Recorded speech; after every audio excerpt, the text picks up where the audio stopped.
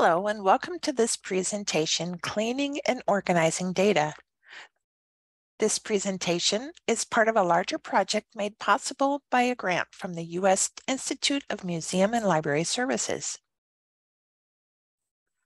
This presentation will cover some common strategies for how to turn your raw data that you may download from a survey tool or from a library system and turn it into useful data so you can analyze and visualize it. We'll start with a brief overview of data cleaning and organizing and why it's important. Then we'll talk through getting to know your data, followed by some demonstrations and guided practice in Excel to split and concatenate data, filter and remove duplicates, and create and use lookup tables. Everything that I'll demonstrate in Excel also matches how you'd go about this work if you're in Google Sheets with a few minor exceptions. In those cases, I'll also jump to Google Sheets and show you how things work in that tool as well. As we work through this presentation, I hope you won't find yourself overwhelmed with trying to remember formulas and details that you'll hear and see demonstrated today. Rather, my primary goals with this presentation are that you will develop better understanding about what goes into cleaning and organizing, understand how Excel or Google Sheets can make your life easier, and learn or at least become aware of some basic terminology and tools that will help you make your data ready for analysis. And remember, there are hundreds, if not thousands, of great tutorials online that can help you fill in the details once you're working on your own. So let's begin by talking just a bit about data cleaning and organizing. It's really a rare occasion when you get a raw data set and it's ready for analysis or visualization. Data cleaning often involves things like fixing or removing incorrect, corrupted, incorrectly formatted, duplicate, or incomplete data within a data set. Data organizing can be a lot of different things. Uh, some of the things I typically find myself doing as I organize data are connecting two or more data sets, creating new categories where you combine like items, changing text format into number format, modifying date and times, and splicing data from one column into two or more. Essentially, data cleaning and organizing takes you from a raw data set, something like this, which is a survey file downloaded from a survey tool. I think this one was Qualtrics,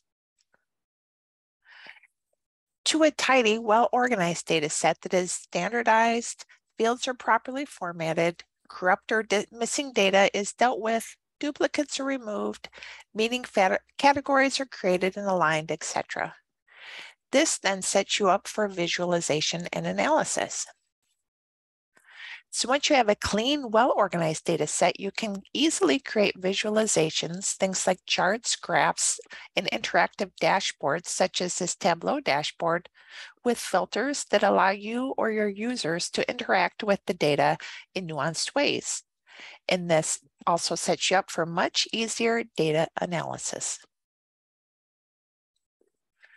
To help bring the concepts to life, I'll be walking you through some data cleaning and organizing steps that are commonly needed or used through a guided practice scenario that you can follow along with on your own computer. The scenario we'll be working with is that your colleagues in the Research and Instruction Department, I'm going to refer to them as RIS, have four years worth of student engagement data that they'd like help analyzing. Before beginning any anal analysis, I like to spend some time getting to know my data and asking some additional questions so I know what I'm working with and the end goals. Before digging in and getting started, I recommend talking further with your colleagues to understand what they really want to know and why they want to know it. How do they plan to use their data? Who are their audiences um, that they may share findings with? For example, they may want to know things like how many engagement sessions did they conduct in a year? What type of sessions? Who are they serving? Do they have a lot of repeat students? Are they increasing their reach over time? And while these thing, these findings are sure to be interesting to the RIS department, you'll also want to know how they plan to use that data. For example, will they use it to help make decisions about how they conduct their work? Are they planning to share this uh, any findings with campus decision makers such as the dean or provost to advocate for more financial resources? Knowing this type of information will help to guide you in your next steps and determine if and what other types of data you may need to answer these questions. In the next series of slides, I'll be taking you through and demonstrating the guided practice scenario using two Excel data sets, the two data sets noted below, uh, student engagement, Excel XS, and student information. If you'd like to follow along on your own computers, I recommend pausing this video and downloading these two files to your computer. The download links should be available right under or next to this video. So let's say the RIS team gave you a student engagement spreadsheet that contains information like that, which is outlined on the left side of your screen about the types of engagements they had with students over a four-year period of time. While this is, information is important, it is not enough to answer all of the questions they want to know about. To answer their questions, they may also need or want information about the student's college, their major, in their classification. And of course, you'll need a way to tie this information to each student who engaged with the library in some sort of interaction. If you're looking to tie engagement data with some sort of outcome measure like academic success, something like cumulative GPA, retention, or graduation data, you'll likely need to request this from your Office of Institutional Research. Before beginning any cleaning and organizing, I first like to take a quick tour of my data sets. So let's go ahead and do that. Uh, let's begin with the student engagement file. So I, I find it's helpful to see how um, files are organized. I see I have an email address, a semester, year, and engagement uh, type. It looks all very um, standard or, you know, very, very typical. Um, like to see how many rows, rows we're dealing with. I see we have 732 records. And um, let's also take a look at the student information file that um, this information is just something I downloaded from a patron database. And please know that the usernames are really just made up usernames. Um, nothing is, is um, actual um, user information. So in the student information uh, data, I have a username, a student ID, college, major, and classification. As I'm scrolling through, so this information came from the patron database, so you, you would expect it to be pretty standardized, everything already to be pretty clean, which it looks like it probably is um, but it's still a good idea to look through things. So I'm seeing there are a few different versions of graduate. And sometimes the capitalization, lower and upper case, are different. That tells me that if I was going to use this field, I would need to do a little bit of data cleanup. I'm going to um, jump back to the, um, the student engagement data. Um, if you recall from an earlier slide, the RIS team had seven different types of engagements. Uh, but looking through, and I see those types listed here, but I see that there are a lot of inconsistencies with uh, misspellings, uh, abbreviations, etc. This tells me that we are likely to need to do some data cleanup uh, for, for this particular field, since that's a primary field of interest for the RIS team. I'm going to navigate back to the presentation slides. So now that we have a sense of what we're working with, a first critical step is to figure out how to tie your two data sets together. For this, you'll need to have a unique identifier, something that uh, goes to the individual student or user level, like their username, email address, or student ID number. Each file needs to have a field that is formatted exactly the same. Sometimes you need need a little bit of work, need to do a little bit of work to make this happen. which is where splitting and or concatenating come in. As we look at the fields in the two data sets again, I see that the username uh, over here in the right um, is actually the prefix of a student's email address.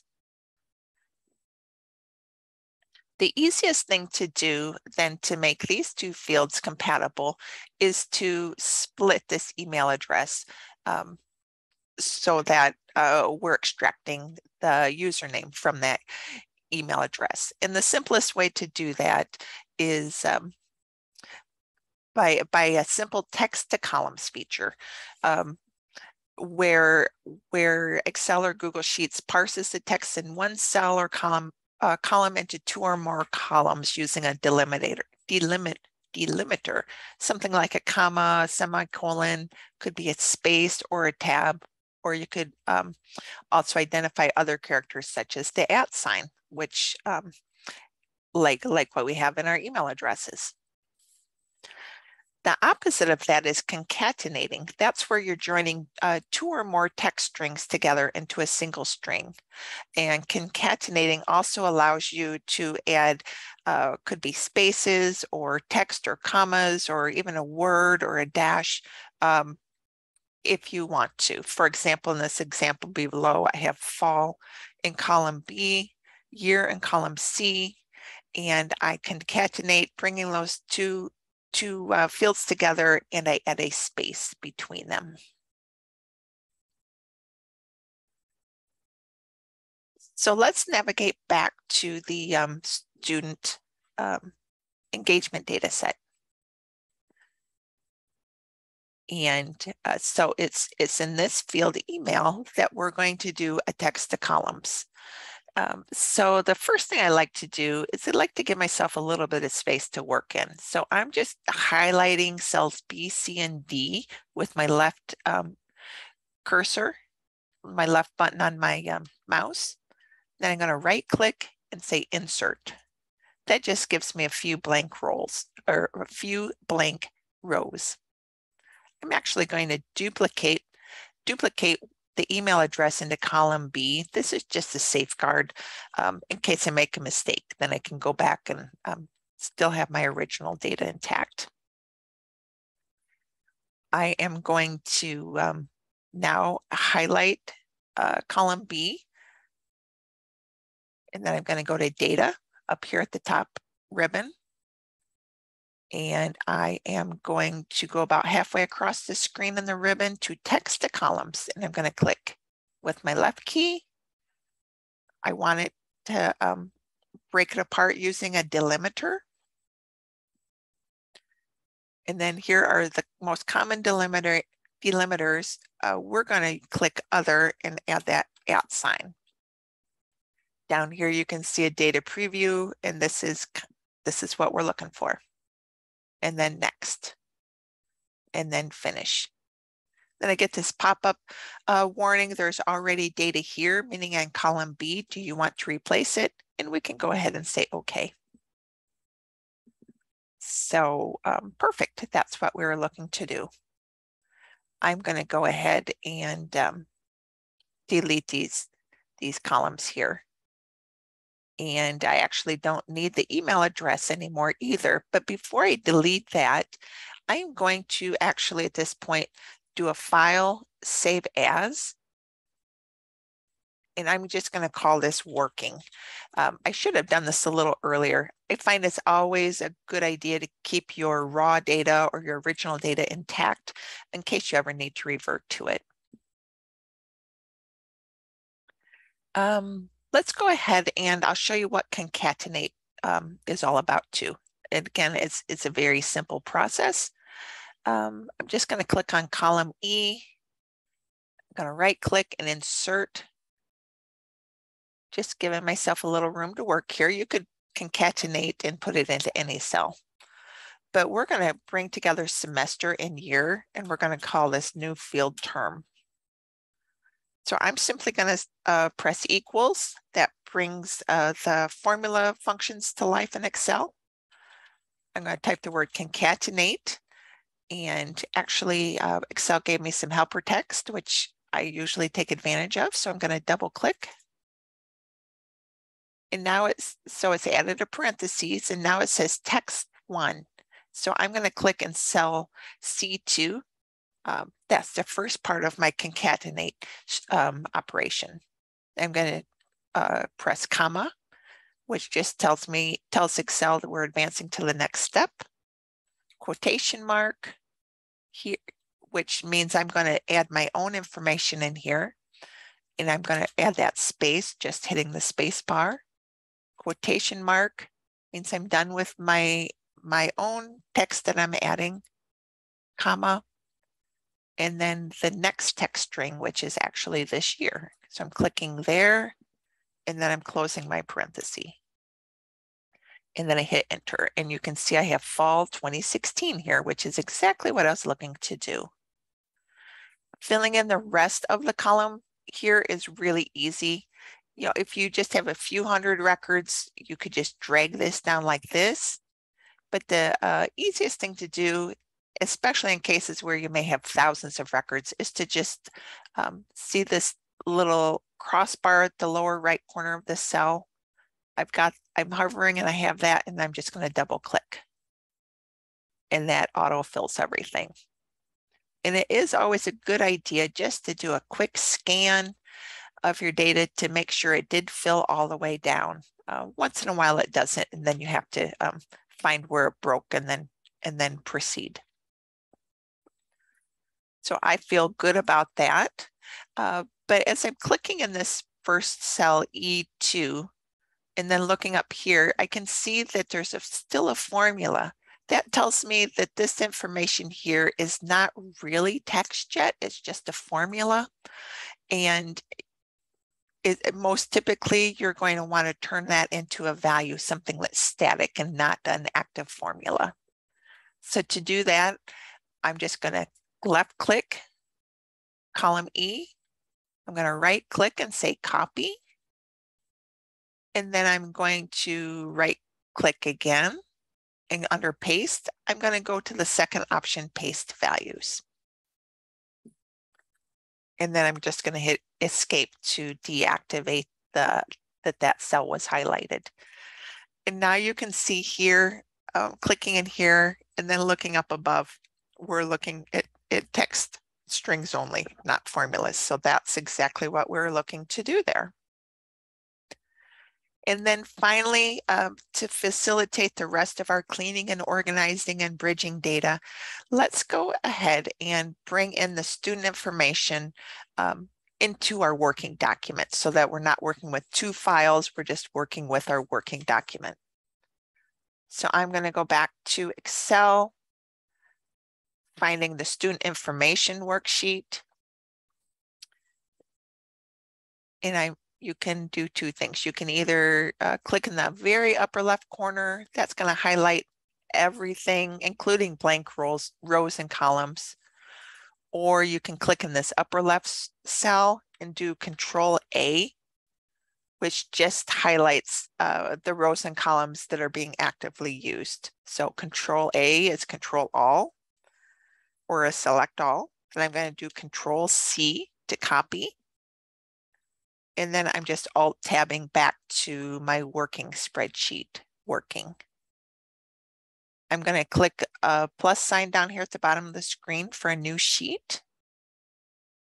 And click in that upper left cell A1 and do control V to copy that data in. And then I'm just going to do a little formatting cleanup so it's easier uh, for you to see on your screen.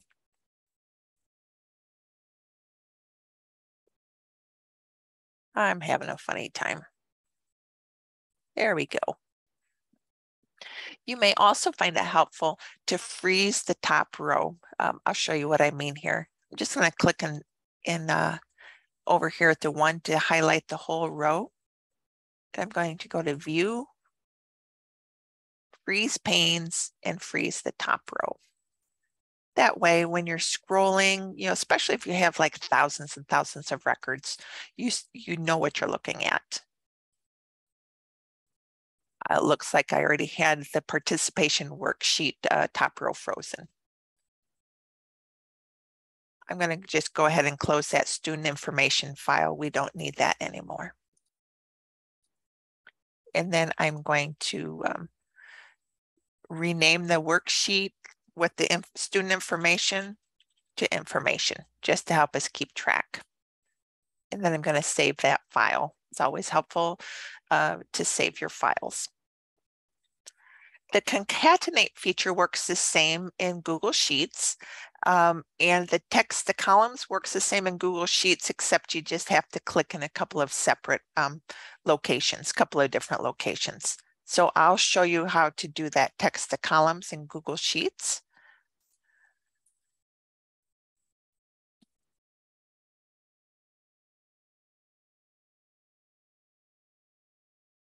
Um, just one moment.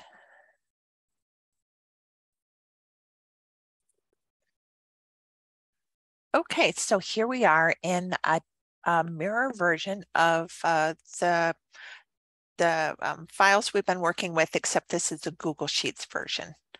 So remember, um, we're looking to extract the username out of the email. I'm going to go ahead and add a few blank columns just to be on the safe side, just like we did before.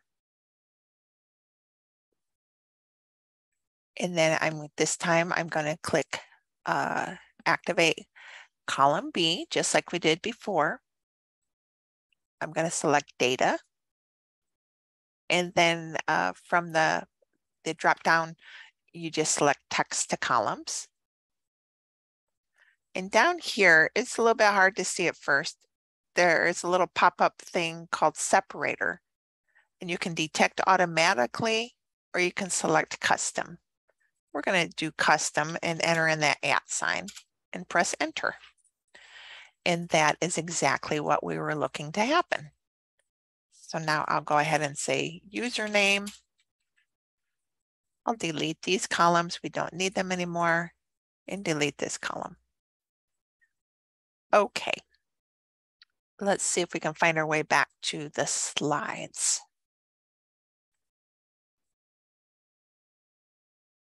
So sometimes we have to create categories to make our data meaningful. The categories will standardize information into tidy containers that will enable you to analyze and visualize your data much more easily. This often um, is facilitated by filtering and removing duplicates as important first steps.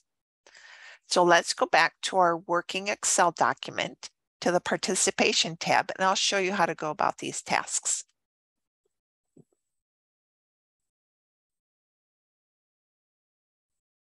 So here we are in our participation tab. So let's like take a look at column D engagement type. Remember the RIS team, our colleagues uh, said there were seven different types of engagements. That means that we would only want seven options, not all of these variations of how things are spelled or listed. To see what we're working with, we can simply um, apply a filter so I'm going to highlight this uh, column engagement type.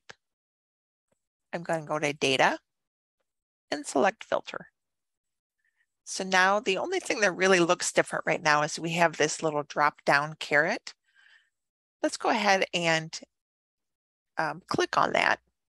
And you can see here, these are all the unique instances of each um, word. So it's, it's removing the duplicates in our view. So I could, maybe I just want to see how things look for the data literacy instruction. So I can deselect everything and then only look at data literacy things. So, so now all of the other items are just hiding in the background. Um, I can, maybe I wanted to see um, what's up with the blanks. Let's go ahead and see there. The blanks are just empty records at the end. Sometimes you need to get rid of blanks. Sometimes you need to um, um, add more information if it's available, uh, such like that. I am going to deselect filter here. Um, and you can filter everything in the all the columns in the worksheet by just clicking the upper left corner and then selecting filter. And so now you could see, look at for semester, you can see that we have two semesters. For year, we have four years. And for term, that's that field we just concatenated. We have, um, looks like about eight um, different, different things.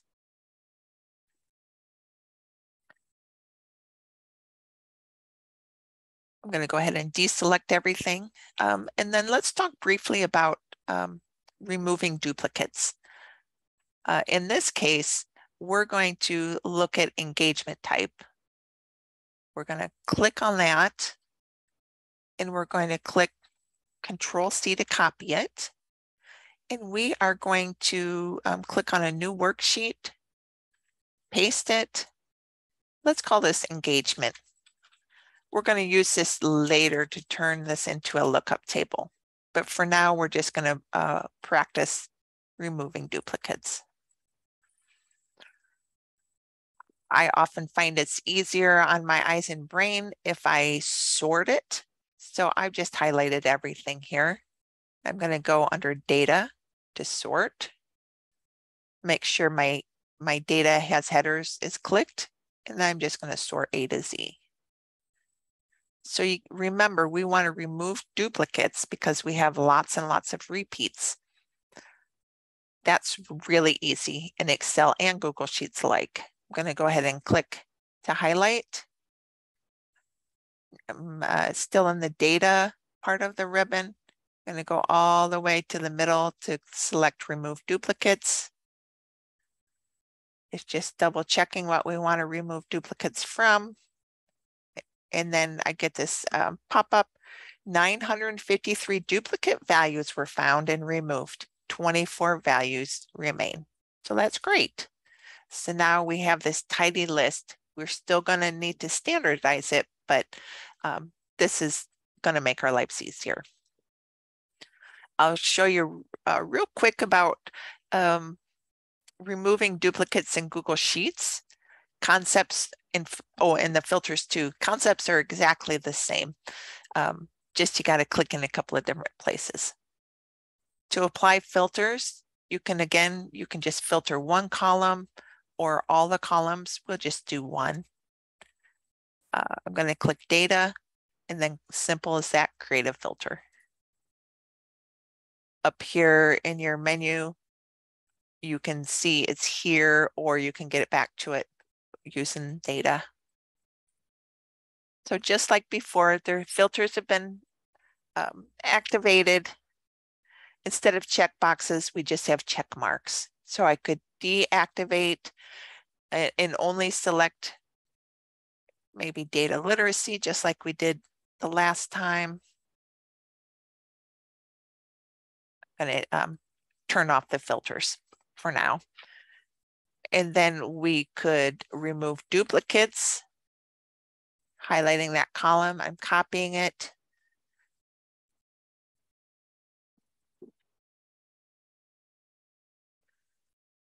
Giving my worksheet a name and I'm going to paste. Sorting is exactly the same. You just go to data, sort range. I usually select advanced range sorting options. Um, just got some safety checks in there that um, are sometimes helpful. Now everything's nicely sorted. You don't have to do that part. Um, I just find this a little bit helpful. And then data, um, now we're going to remove duplicates. So you go to data, this time data cleanup, and remove duplicates. And now we just have these duplicates left, or these, um, these particular engagement types left.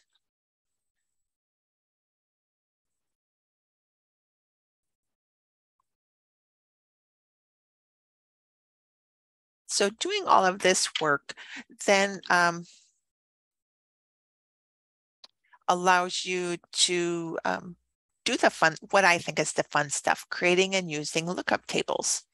Um, lookup tables allows you to tie data from different worksheets together into a single location, which then um, makes your ability to analyze and visualize your data a thousand times better.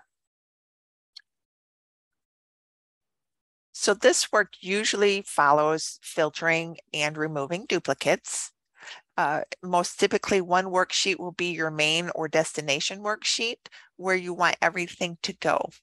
And then the other worksheets with the supplemental information will serve as the lookup files if you're creating a new categorical field, you'll need to create a lookup table with the definitions or your categories.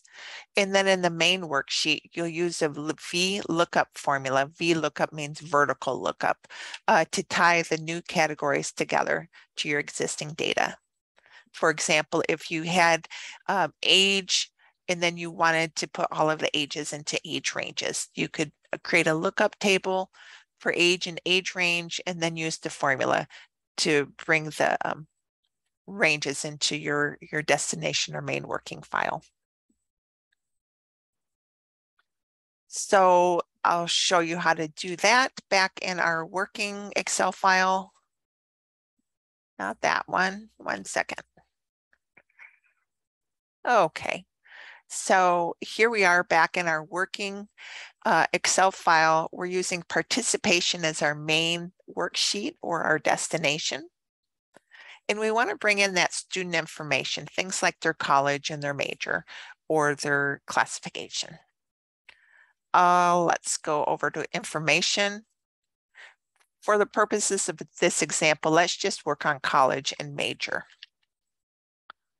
I, we would do classification, but it's still messy and we would need to want to standardize that first. So I'm just going to highlight college and major and copy those into our participation worksheet. Just putting in some placeholders to help me stay organized. We don't need this email address anymore. I'm going to delete that. This is actually our username now. So to bring in the information about college and major, I'm going to first start off with the equals, telling Excel we're going to do a formula. And I'm going to just type in VLOOKUP. We've got this helper text. I'm going to go ahead and double click that to take advantage of it. That puts in a, a parenthesis that says lookup value. What we want the computer to do is look up username, comma, now it says table array. So we're telling the computer, okay, computer, go look uh, in a particular array of data. In this case, our array are all columns and rows in the student information worksheet. So I tapped on the information tab. I'm highlighting all of the columns. So I was telling the computer, look, anywhere in this worksheet that you find a match, do something. So we're going to do a comma. And then we're going to say if the computer finds a match with username, I want the computer to deliver the information in the college row. So that's column C, though the formula requires us to use a number for the column. So column C is the third column, comma, and then we're going to use false. So false you see here is looking for exact matches only. True would be approximate matches, which might confuse, confuse things. And then I'm doing a close parenthesis to end the equation. That pops us back over to our, our student participation file. And it filled in uh, exactly what we were looking for. I could scroll, I could get the double arrow here, or what do we call that? The cross and just scroll down, or I could just double click to autofill. Just making sure everything filled in like it should, looks like it did. We can repeat that process for major equals VLOOKUP, look in cell column A starting with um, cell A2, comma, table array, we're going to go back to the student information. And this time we want it to deliver major, which is the fourth column, comma, and then false. Perfect. And just take note here that even though it says liberal arts and sciences, is actually a formula up here. Um, whoops. And then same for major. It's actually a formula. All of these information really are relying on formulas. And to facilitate our work later, we're going to want to turn these into static uh, text fields, not formulas. So I'm just going to highlight F and G right click and say copy, right click again, and under paste, I'm going to go to the second option, paste values. And then I'm going to just hit escape to um, deactivate the highlighting. And now you can see that we've got text up here that matches the text down here. Finally, let's create an engagement lookup table so that we can turn this messy engagement type uh, column into something that's standardized. And we already got started with our engagement um, work when we um, reduced that list of engagement types and got rid of all of the duplicates. So I'm going to um, start a new column here, column B, and I'm going to create an engagement type that is standardized. You can really call this anything you want.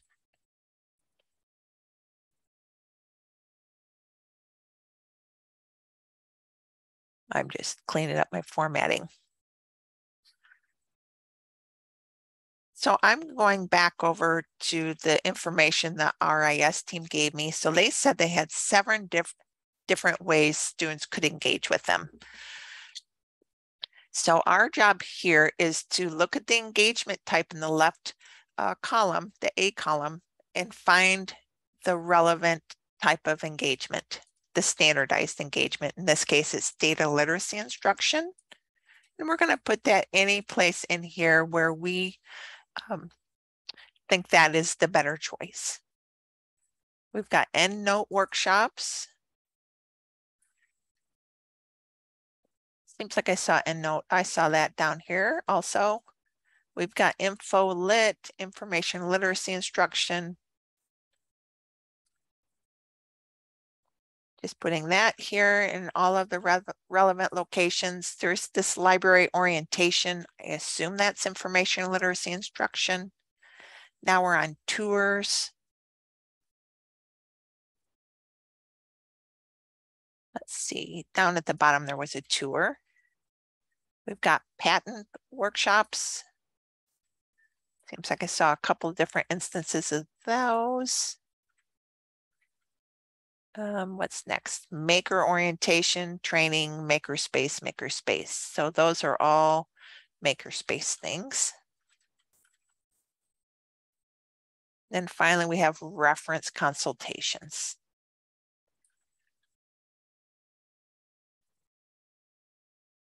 Great.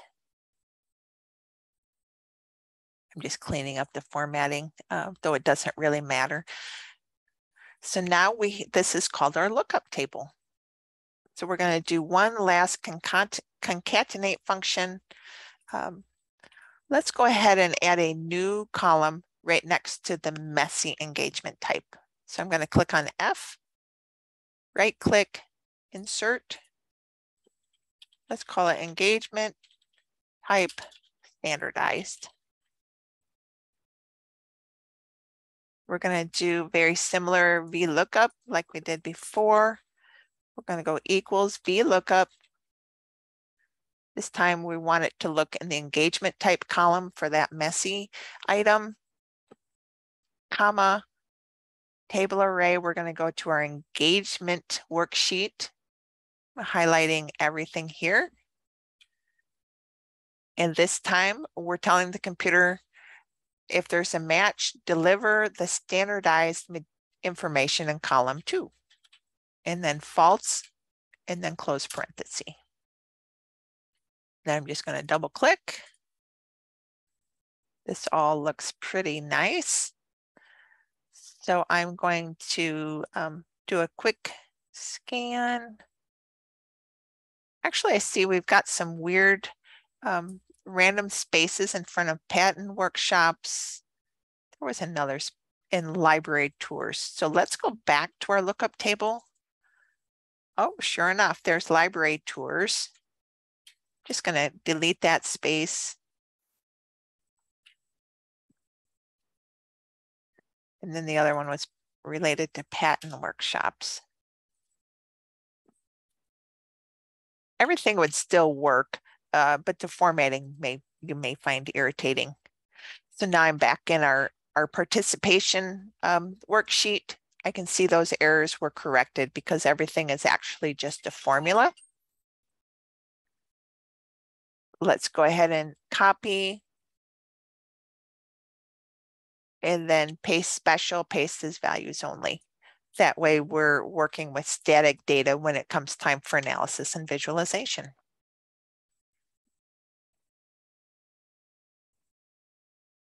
So let's recap. In this presentation, we briefly touched on a variety of topics, including the necessity of data cleanup, getting to know your data, splitting and concatenating data, filtering and removing duplicates, and creating and using lookup tables. While I know this is a lot to digest in one sitting, the main thing I hope you'll be able to take away is having some familiarity with basic concepts and ideas about what goes into data organizing and cleaning, how to go about this, or perhaps more importantly, knowing that Excel or Google Sheets formulas and tools can make your life a million times easier. And hopefully you're starting to build an awareness of the sort of things to search for on Google or elsewhere if you can't remember the exact details or exact steps you need to follow to accomplish these tasks. Thank you very much. And please, uh, I hope you'll take a few minutes to respond to the follow-up survey. Thanks.